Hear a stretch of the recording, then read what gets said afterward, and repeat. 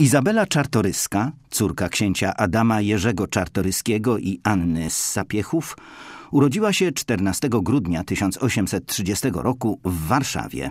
Po upadku powstania listopadowego rodzina Czartoryskich musiała opuścić Polskę i udać się na emigrację do Francji.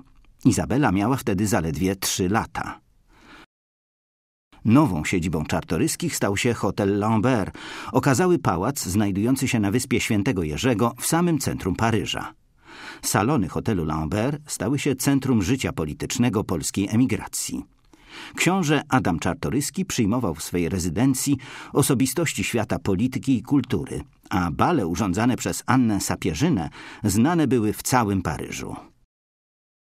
Za namową rodziny Izabela wyszła za mąż za Jana Kantego Działyńskiego, młodego hrabiego z Wielkopolski, którego rodzina mieszkała w Kurniku, niedaleko Poznania.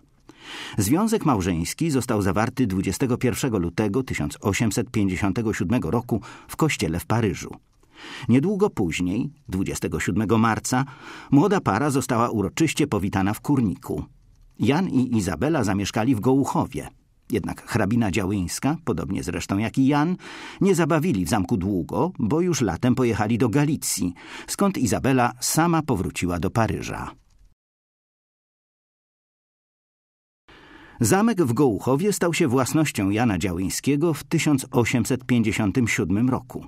Współczesna kreacja zamku i parku jest jednak dziełem Izabeli z Czartoryskich Działyńskiej. Natomiast najstarsze informacje historyczne o Gołuchowie pochodzą z XIII wieku.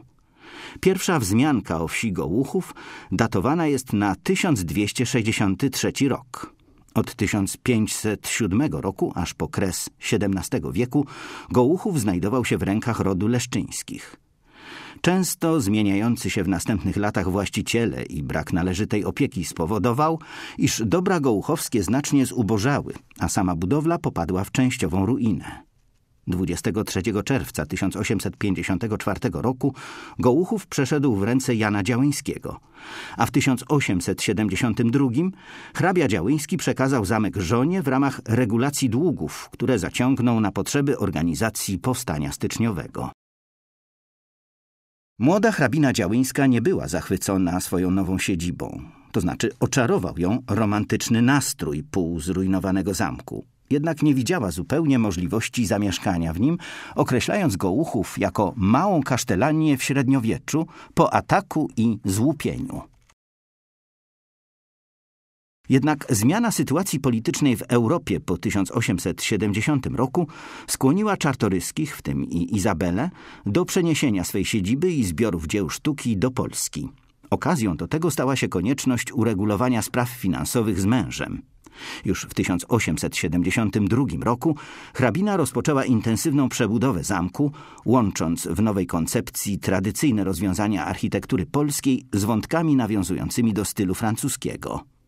Dzięki ogromnemu wyczuciu i współpracy z doświadczonymi architektami, Izabela przekształciła Gołuchów w rezydencję, którą zaczęła nazywać swym ziemskim rajem. Izabela, wychowana w atmosferze zamiłowania do sztuki, w jednym z największych ośrodków kultury europejskiej XIX wieku, już jako młoda kobieta zwróciła się w stronę kolekcjonerstwa. Początkowo jej uwagę przyciągnęły ryciny i rysunki oraz rzeźby średniowieczne – Ostatecznie rozszerzyła swoje zainteresowania także na rzemiosła artystyczne, ceramikę, malarstwo, a także zabytki starożytne. Pasję kolekcjonerską księżna dzieliła ze swoim mężem, Janem Działyńskim, dzięki któremu jej zbiory wzbogaciły się o cenne zabytki starożytnych was greckich. Wiele naczyń antycznych, znanych z kolekcji gołuchowskiej, zakupił Jan Działyński podczas swego pobytu we Włoszech w latach 1865-1868. Zbiory starożytne obojga działyńskich gromadzone były początkowo w hotelu Lambert, a ostatecznie znalazły swe miejsce w sali was greckich i sali starożytności na zamku w Gołuchowie. Aby zabezpieczyć przyszłość kolekcji i majątku, 20 maja 1893 roku Izabela Czartoryska powołała ordynację książąt czartoryskich na Gołuchowie. Majątek gołuchowski, dziedziczony przez kolejne pokolenia, nie mógł być podzielony ani sprzedany, a dochody z posiadłości miały służyć utrzymaniu zamku i kolekcji. Pierwszym ordynatem został Witold Kazimierz Czartoryski, bratanek Izabeli, najmłodszy syn Władysława Czartoryskiego.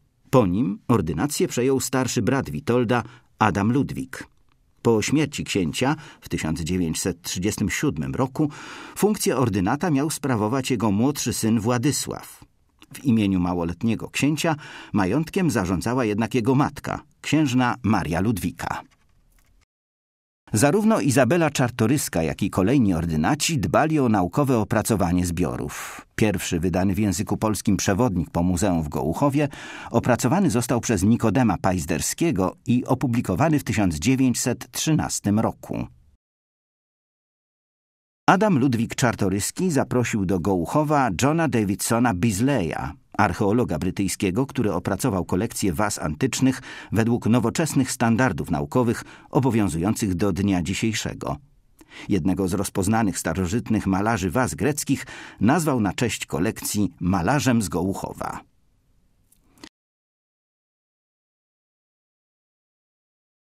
Zbliżająca się groźba wojny zmusiła księżnę Marię Ludwikę do opuszczenia Gołuchowa latem 1939 roku. Księżna zrobiła wszystko, co było możliwe, aby zabezpieczyć kolekcję gołuchowską, zabierając ze sobą najcenniejsze dzieła do Warszawy. Zabytki, które pozostały w Gołuchowie w 1940 roku, Niemcy przewieźli do Poznania, skąd? W latach 1942-1944 część zbiorów została wywieziona do kopalni soli w Grasleben, do schronów w okolicach Międzyrzecza, Sulęcina i Kalał. W 1941 roku zabytki znajdujące się w Warszawie zostały przejęte przez Niemców. Stamtąd trafiły w głąb Rzeszy, między innymi do zamku Fischhorn. W 1945 roku zrabowane dzieła sztuki zagarnęły wojska sowieckie i z terenów Rzeszy zostały one przewiezione do Leningradu. Tylko część obiektów powróciła do Polski i obecnie znajduje się pod opieką Muzeum Narodowego w Poznaniu, Krakowie i w Warszawie oraz Muzeum Archidiecezjalnego w Poznaniu. Kolekcja Gołuchowska to zbiór dzieł sztuki, które w zamku umieszczone były przede wszystkim w sali polskiej, sali muzealnej, sali was greckich i starożytności. Znakomite dzieła zdobiły także pozostałe wnętrza zamku. Tę koncepcję prywatnego muzeum można dziś odtworzyć dzięki archiwalnym zdjęciom z początków XX wieku. Już w niszy klatki schodowej prowadzącej do podziemi znajdowała się XIV-wieczna rzeźba przedstawiająca Madonnę z dzieciątkiem. W sali polskiej, pierwszym pomieszczeniu w podziemiach zamkowych, eksponowana była broń biała, także bogato zdobione rzędy końskie, pasy szlacheckie i srebra rodowe. Na ścianach sali wisiały obrazy prezentujące królów i magnatów polskich. W drugim pomieszczeniu, sali muzealnej, przechowywana była kolekcja zabytków sztuki użytkowej. Ta część kolekcji znacznie ucierpiała w wyniku II wojny światowej i wiele obiektów z niej zaginęło. Wśród zachowanych dzieł sztuki zwraca uwagę portret wiszący nad jedną z gablot. Obraz, określany wcześniej jako portret Mikołaja Kopernika, obecnie rozpoznany jest jako dzieło szkoły florenckiej z XVI wieku, przedstawiające prawdopodobnie Lorenzo de Medici. W sali was greckich, w gablotach, które wznosiły się aż pod sam sufit pomieszczenia, umieszczono 254 naczynia antyczne, zarówno bogato zdobione kratery, jak i drobne naczynia toaletowe. Wokół kominka znajdowały się reliefy i przykłady rzeźby, m.in. marmurowy sarkofag dziecięcy z II wieku naszej ery. Nie zachowało się żadne zdjęcie sali starożytności, jednak z opisu z przewodnika Nikodema Pajzderskiego wiadomo, iż w sali tej eksponowano m.in. biżuterię antyczną, figurki terakotowe oraz naczynia szklane. Sypialnia księżnej Małgorzaty, pomieszczenie za salą starożytności, poświęcona była królewskiemu rodowi Leszczyńskich, dawnym właścicielom zamku. Część zabytków zdołano odzyskać, jak na przykład obraz przedstawiający dworzanina wykonany przez Jana Monstarta, który niegdyś zdobył sypialnię królewską mieszczącą się na pierwszym piętrze zamku.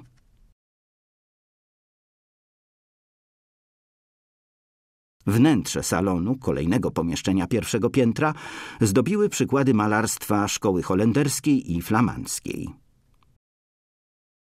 Biblioteka natomiast skrywała grafiki i rysunki. W zbiorach hrabiny działyńskiej znalazły się mistrzowskie prace Albrechta Dürera, Jana Piotra Norblina, a także grafiki o tematyce historycznej ukazujące władców polskich oraz ilustrujące ważne wydarzenia z historii kraju.